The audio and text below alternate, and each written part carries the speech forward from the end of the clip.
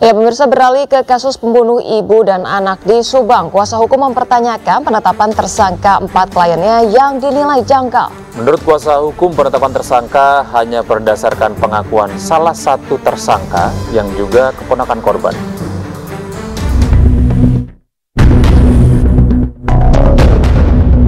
Polda Jawa Barat resmi menetapkan lima tersangka dalam kasus pembunuhan ibu dan anak di Jalan Cagak, Subang, Jawa Barat.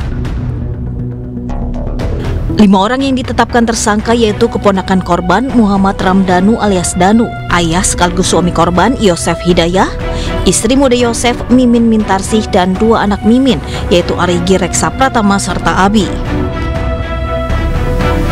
Namun dari lima tersangka tersebut polisi hanya melakukan penahanan terhadap dua orang yaitu Danu dan Yosef. Sementara tiga tersangka lainnya hanya diperlakukan wajib lapor. Kuasa hukum para tersangka mempertanyakan alasan penetapan tersangka empat kliennya tersebut. Pasalnya, ia menilai penetapan tersangka hanya berdasarkan pengakuan Danu. Yang kami sayangkan ada penetapan tersangka itu berdasarkan keterangan dari saudara Danu. Itu yang saya sayangkan.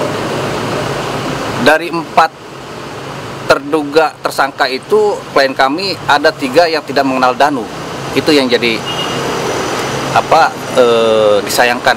Karena dari awal dari penyidikan bahwa Yosep klien kami Yosep Mimin e, Arigi dan Abi itu tidak pernah melakukan tindak pidana. Apalagi mengetahui.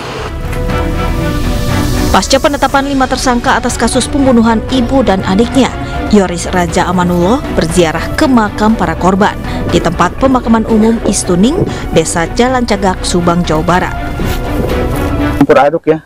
Speechless sih. Jadi ada rasa gembira ada uh, sedih ada kecewa ada marah ada. Nah itu uh, gimana nanti inilah uh, dari kepolisian ya. Kita menyerahkan sepenuhnya kepada pihak kepolisian. Dan kami dari pihak keluarga sangat percaya dengan profesionalisme dari Polda Jabar bisa mengungkap.